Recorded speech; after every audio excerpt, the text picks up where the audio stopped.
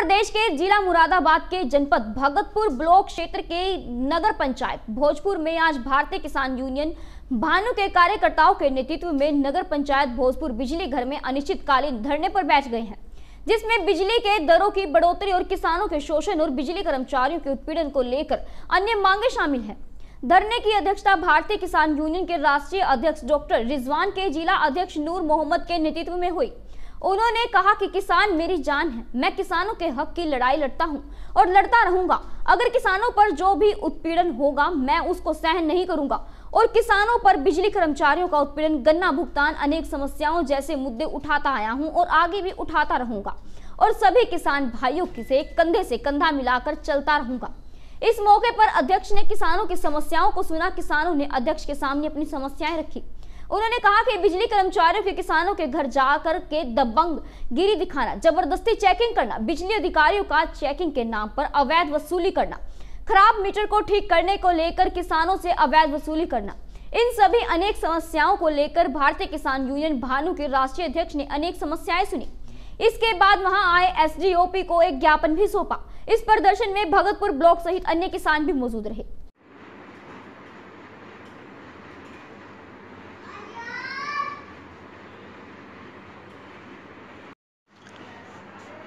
आज क्या धरना प्रदर्शन आपने किया है?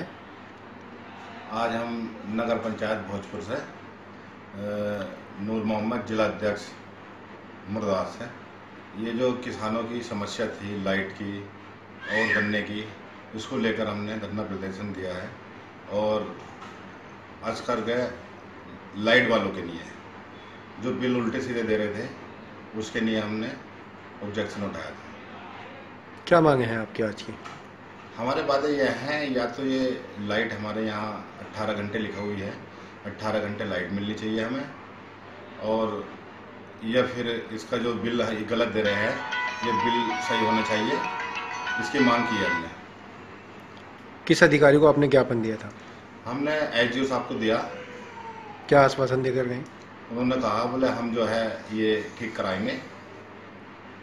अच्छा जो यहाँ बताया जा रहा है कि यहाँ के जो जेई साहब हैं वो दारू पी के किसानों को परेशान करते हैं कोई सुनवाई नहीं। ये जेई साहब की शिकायत है ये हमने भी शिकायत करी है। एच को एच साहब को हमने लिखकर ज्ञापन दिया है। जी क्या ज्ञापन है और जो क्या धरना प्रदर्शन किया गया है? यहाँ से बहुत लोगों की शिकायतें थी। कि बिजली विभाग से बहुत धांधली हो रही है। बहुत भ्रष्टाचार है। अधिकारी सुन के नहीं देते किसान परेशान है। जिसे लेके यहाँ जिला अध्यक्ष हमारे नूर मोहम्मद जी ने यहाँ एक धरने का करा था, जिसमें हम लोग भी शामिल हुए और ज़्यादा शिकायत जो पाई गई, वो जेई की पाई गई। जेई का सुना वो शराबी है, नशेड़ी है। और मैं सारे किसानों से ये कहना चाहूँगा, अगर वो जेई कहीं पीते हुए मिल जाए तो साले को पकड़ के मारें। पकड़ के मारें, पकड़ के मारने के बाद तुरंत थाने लेके जाएँ। उसके खिलाफ एफआईआर होगी वो जेल जाएगा। एसडीओ साहब से जो बात करी इन लगा कि बढ़िया आदमी है। अब बाकी की बात जब पता लगेगा जब इनके पास ये लोग आएँगे इनका व्यवहार कैसा है। अगर अच्छा व्यवहार है तो बढ़िया है और गलत व्यवहार है तो अगली बार में फिर यहीं होंगे। आपकी क्या क्या मांगे रही थी? आज की मांगे मेन मांग तो बिजली को लेके थी। तो बिजली के लिए परेशानी है मेन वो थी बाकी गन्ना भुगतान के लिए थी। किसान को इज़्ज़त नहीं मिलती इसके लिए थी। किसान परेशान रहता है। थाने में कोई नहीं सुनता तहसील में कोई नहीं सुनता जहाँ वो जाता है धक्के खाता है। तो किसान को हर जगह मान सम्मान मिलना चाहिए ये हमारी डिमांड है।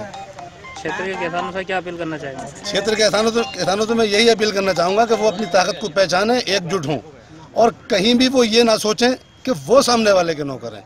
वो जिस विभाग में जिस ऑफ़िस में जाते हैं जो वहाँ बैठा हुआ है वो किसान का नौकर है। उस अंदाज में उनसे बात करें। जी सर आज क्या ज्ञापन इन लोगों ने आपको सौंपा है? जी।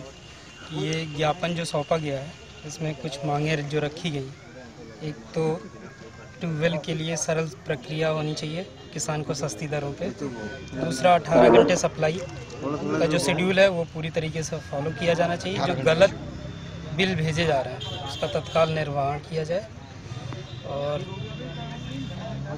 हाँ एक और इनकी समस्या है कि कर्मचारियों के ऊपर कि जो भ्रष्ट कर्मचारी हैं उन पर कार्रवाई की जाए।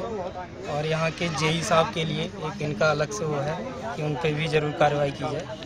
ये है इनका और इस पर कहते हैं पूरी तरीके से हम ध्यान अच्छा यहाँ के किसानों का आरोप है कि जो जेई साहब हैं दारू पी रहे रहते हैं और गाली देते हैं यहाँ के किसानों को कोई समस्या लेकर के आती हैं तो? हम्म। नहीं जेई साहब की अगर समस्या है जैसे इन्होंने बता दिया दारू।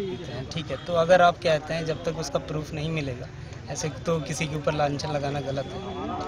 अच्छा अगर कोई प्रूफ अगर ये लोग देते तो क्या कुछ कार्रवाई अपनी तरफ़ उस से की पे जो मेरी तरफ़ से जितनी कार्रवाई हो सकती है वो मैं पूरी कार्रवाई करूँगा ठीक है। और कार्रवाई के लिए रिक्वेस्ट करूँगा ऊपर भी मैं भेज दूँगा लेटर बना के इन पे जल्द जल्द से जल्द कार्रवाई। लोगों की शिकायत है कि आप शिकायत नहीं सुनते लोगों की?